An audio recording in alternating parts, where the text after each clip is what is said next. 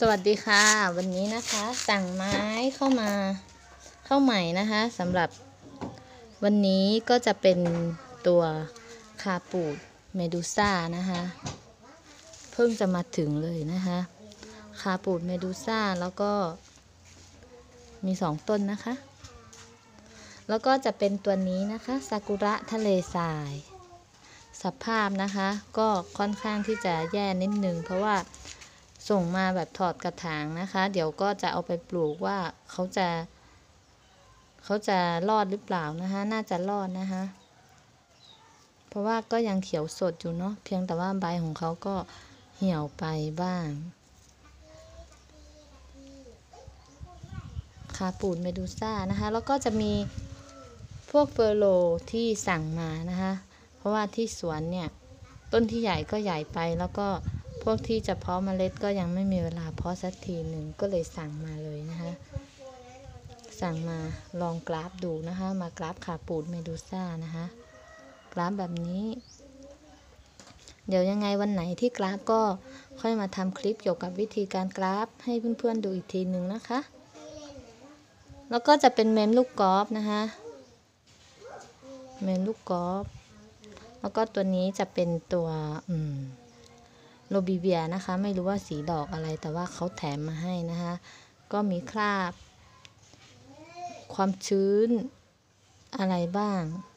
ก็ต้องมาลุ้นเอาว่าเขาจะรอดหรือเปล่านะคะ น่าจะไม่มีปัญหาอะไร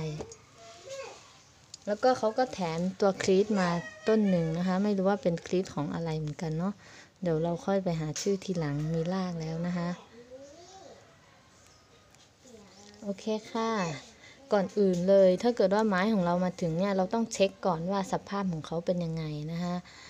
เราก็มาทำความสะอาดนะคะ เราต้องมาทำความสะอาดอย่างบางที ถ้าเป็นพวก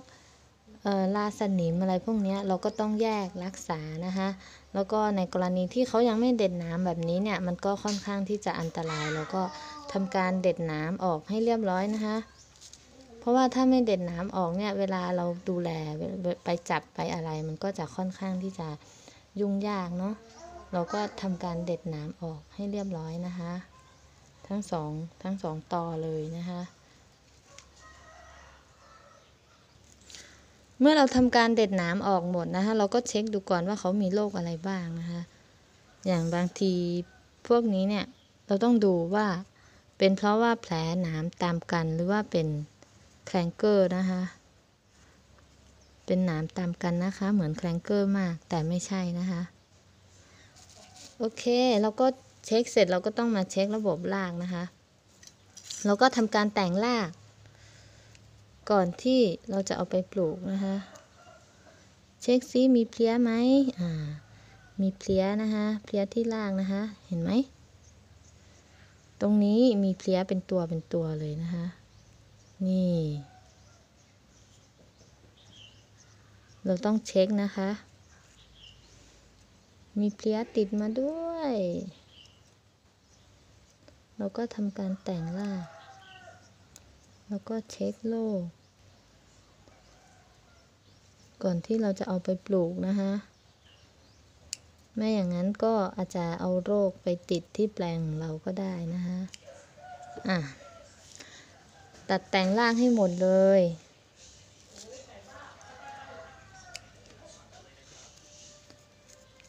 พยายามเอารากฝอยพวกนี้ออกให้หมด เพราะว่า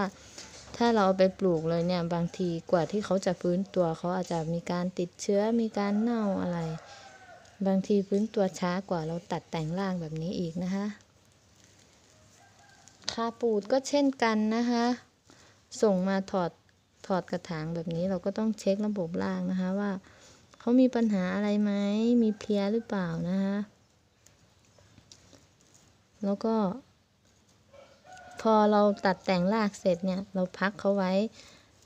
สักวันหนึ่งสองวันหรือว่าเป็นอาทิตย์ก็ได้เนาะแล้วแต่เลยว่าเรามีเวลาไหม ถ้าเกิดว่าเรารีบปลูกก็ตัดไว้ผึ่งลมไว้สักวันหนึ่งนะคะ เราก็สามารถเอาไปลงปลูกได้แล้วนะคะ แต่สำหรับใครที่ไม่ตัดแต่งก็ได้ปลูกเลยก็ได้นะคะ แต่ว่าถ้าจะให้แนะนำก็คือเราก็ควรที่จะตัดแต่งเนาะสำหรับการที่เรารับไม้ใหม่เข้าสวนเนี่ยก็คือเราจะได้เช็คระบบรากของเขาด้วย แล้วก็การที่เราตัดแต่งเนี่ยจะทำให้เขาฟื้นตัวไวกว่านะคะ เพราะว่ารากฝอยพวกนี้เวลาที่ เวลาที่เขาโดนดึงออกมาเนี่ยเขาก็จะช้ำแล้วก็เขาก็จะเอ่อ ฟื้นตัวช้าอยู่แล้วนะคะ เวลาที่เราไปปลูก เพราะฉะนั้นเราตัดไปเลยดีกว่าสำหรับพวกรากฝอยนะคะ แล้วก็ให้เขางอกออกมาใหม่ดีกว่านะคะว่าใครที่จะเอาไปล้างไปแช่น้ำยากันลาก่อนที่จะเอาไปปลูกก็ดีเลยนะคะแต่สำหรับใครที่ไม่มีเวลาก็ พักไว้แล้วเอาไปปลูกเลยก็ได้ แต่ถ้าเอาไปแช่ยากันลาได้ก็จะยากันลาได้ก็จะดีมากนะคะ เฟอร์โลพวกนี้ก็เช่นกันนะคะ เราก็ทำการตัดแต่งรากให้เรียบร้อย ทุกต้นเลยนะคะ ตัดเลย ตัดให้สั้นๆเลยนะคะ เหลือแค่ประมาณเซนหนึ่งนะคะ แล้วก็พยายามเอารากปล่อยออกให้หมดนะคะ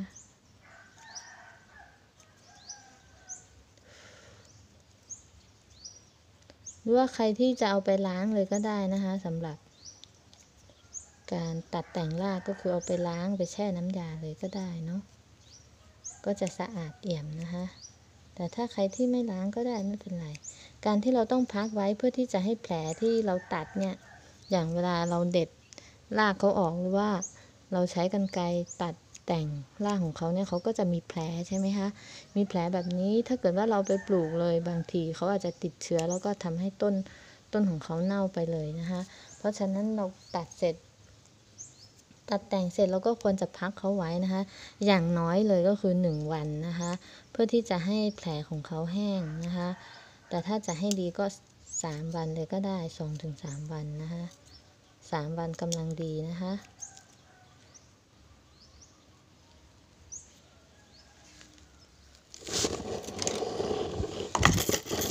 ตัดแต่งเสร็จแล้วนะคะ เราก็จะทำการ เก็บไว้ในตะกร้านะคะ แล้วก็ รอให้แผลเขาแห้งนะคะ อย่างน้อยวันหนึ่งนะคะ แล้วเราค่อยเอาไปปลูกนะคะ ไม้กราฟก็เช่นกันนะคะ ตัวเอกของเราที่เราสั่งมานะคะจะเป็นคาปูด แล้วก็ตัดแต่งร่างอะไรเสร็จ เราก็ เอาเขามาผึ่งไว้เช่นกันนะคะเห็นไหมตรงนี้จะเป็นรอยของ รอยเน่านะคะ เราต้องคอยระวังเลยนะคะสำหรับแผลแบบนี้นะคะ ถ้าจะให้ดีเราก็ใช้มีดเฉือนนะคะให้จุดสีน้ำตาลของเขาเนี่ยออกไปหมดเลยนะคะ จะดีเนาะ เค เราก็ผึ่งให้แห้ง แล้วเดี๋ยวเราก็เอาไปปลูกนะคะ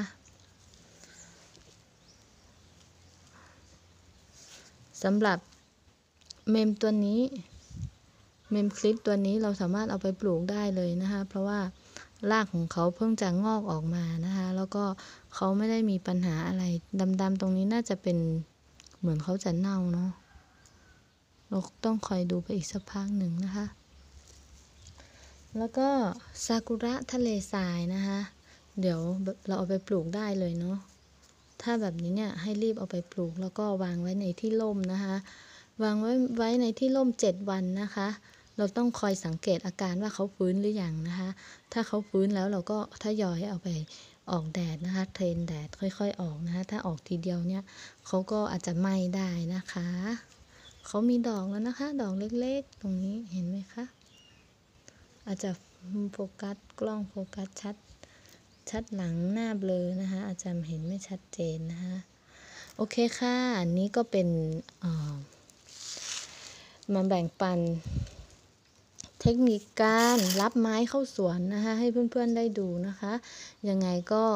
เดี๋ยวจะมาอัปเดตให้เพื่อนๆดูว่าชุดที่เรารับมาวันนี้เนี่ยเขาฟื้นตัวยังไงแล้วนะคะ ในโอกาสต่อไปเนาะยังไงเพื่อนๆก็กดไลค์กดแชร์กดติดตามนะคะ เพื่อที่จะชม